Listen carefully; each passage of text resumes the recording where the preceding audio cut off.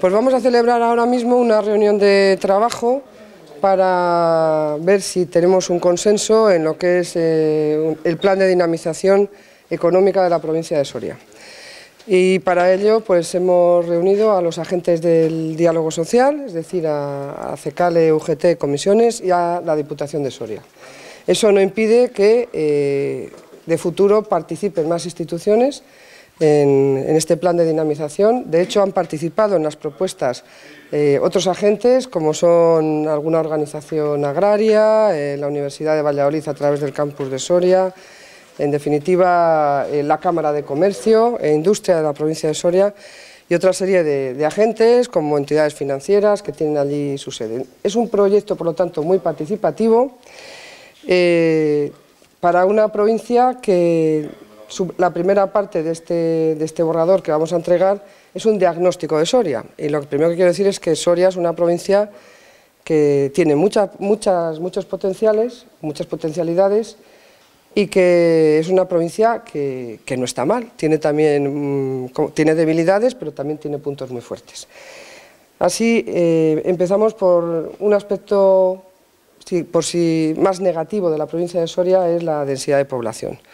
Soria es una provincia que no llega a 9 habitantes por kilómetro cuadrado, su densidad de población.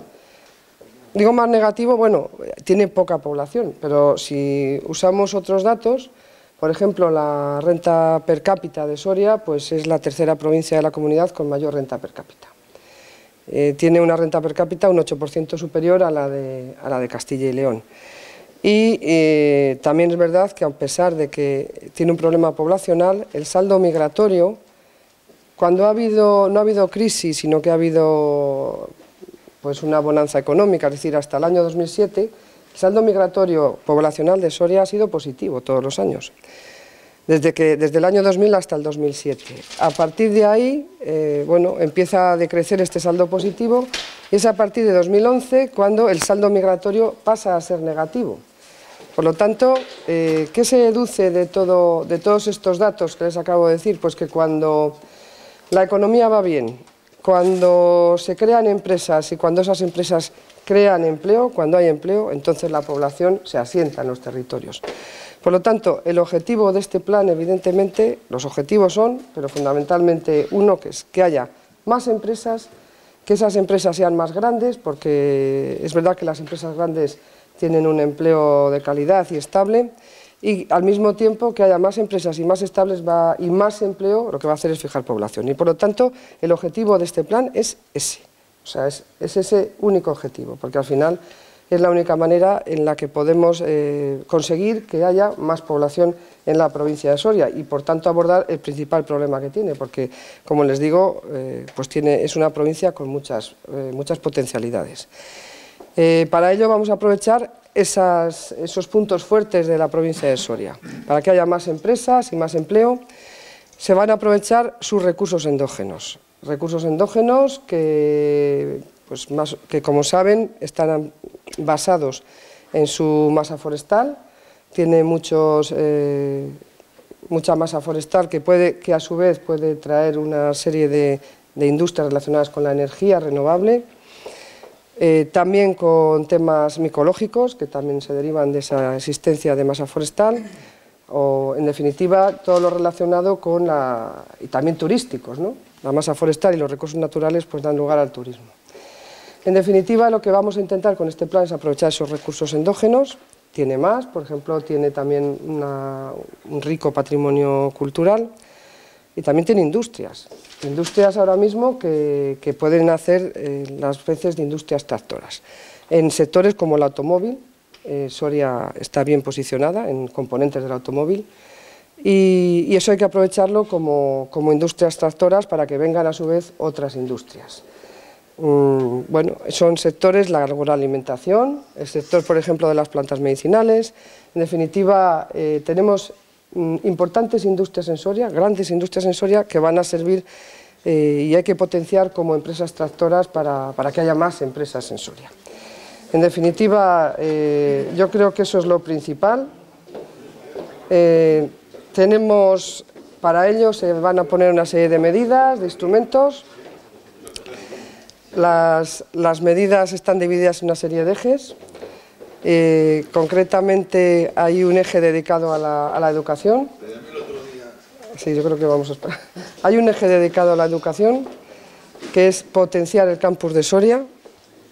¿Para qué? Para que haya eh, potenciar la transferencia de conocimiento a las empresas, más y más de y, empresas que, salgan y que investiguen eh, a través de este campus de Soria. Eh, igual ocurre en el ámbito universitario, como queremos que haya más emprendimiento, pues se va a potenciar como experiencia piloto en el, ámbito educativo el, emprendimiento, es decir, se van a, potenciar que los, niños y las niñas, cuando están en, los jóvenes en esas edades, pues que aprendan a emprender, que es importante. Hay muchos más ejes, evidentemente, la potenciación del turismo, como os he dicho, es fundamental, el turismo basado en recursos naturales y basado en, otras eh, cuestiones, que es el rico patrimonio cultural y, de monumentos de Soria.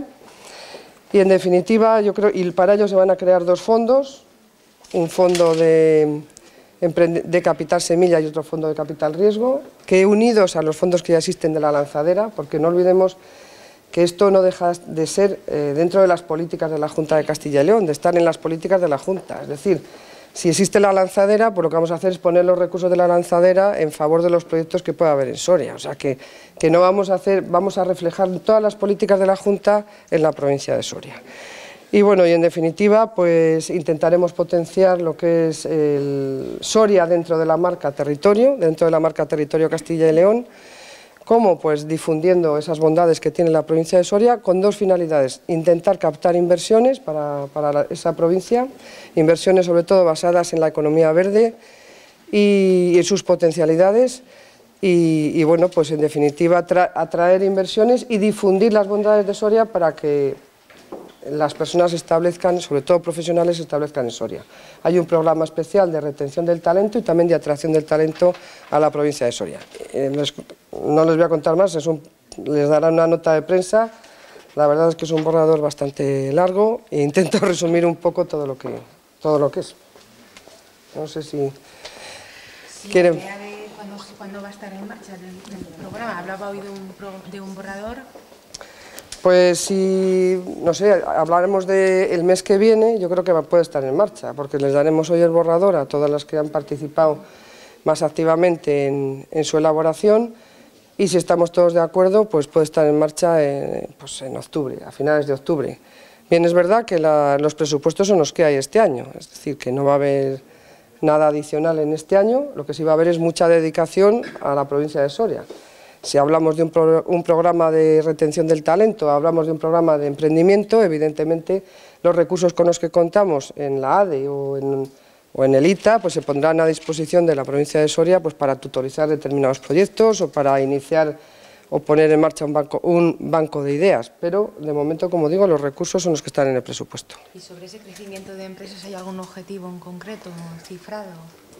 Pues eh, no, esto es un borrador que contiene muchas medidas. El plan de crecimiento empresarial de Castilla y León eh, no se va a presentar hasta, creemos que noviembre, aunque está más o menos finalizado, y dentro de ese plan de crecimiento empresarial de Castilla y León, pues intentaríamos que eh, las empresas de Soria que estén más aptas para crecer, pues estar incluidos en ese plan. No tenemos objetivo, el objetivo de ese plan de crecimiento de Castilla y León puede ser entre 50 y 150 empresas, bueno, pues dentro de esas 50 o 150 podemos dar prioridad a determinadas empresas de Soria que cumplan con los requisitos, de las que ya están. ¿eh?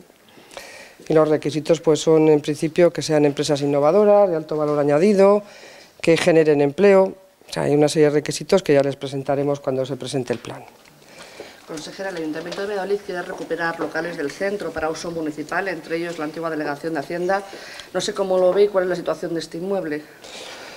Eh, la situación del inmueble eh, es que se va, se va a adaptar, se está haciendo ahora mismo el proyecto de adaptación de ese inmueble pues a los requerimientos que tiene que tener un inmueble del siglo XXI, es muy bonito, es un edificio emblemático, pero hay que dotarle eh, de mayor eficiencia energética y de más accesibilidad. Ustedes saben que era un poco accesible y se va a utilizar para oficinas de la Junta de Castilla y León. Por lo tanto, le daremos un uso, eh, yo creo que bueno, que es dar vida al centro con, oficinas. Eh, el uso que va a tener, como digo, estamos en ese momento en la redacción del proyecto. Es un proyecto que va a costar dinero, evidentemente, requiere de la aplicación de fondos y por lo tanto pues, lo, haremos cuando tengamos disponibilidades presupuestarias. Pero como digo, ya en este año hay presupuestada una parte y se está haciendo el proyecto. Entonces, bueno, yo creo que es un uso que va a revitalizar el centro de Valladolid. ¿Para la Consejería de Familia era eso? Todavía no lo tenemos decidido. ¿eh? Eh, depende de, quién más lo necesite. Puede ser, no está decidido. ¿eh? Se han hecho varios estudios y todos con un- son eficientes, es decir, que intentamos aprovechar el espacio al máximo, pero bueno, puede ser, si no cabe la Consejería de Familia, pues habrá que llevar otras, otras instalaciones. Tenemos todavía espacios arrendados en, el centro de Valladolid, o sea, en el centro de las afueras, hay varios, entonces lo que intentamos es quitar arrendamientos y las personas que vayan ahí, esas personas que están ahora mismo, esos empleados que están en edificios arrendados. Habrá varios movimientos, ¿no? porque si son de diversos centros, al final lo que se trata es unificar un poco y tener allí un centro, sea la delegación, sea la- alguna consejería. Gracias. Gracias.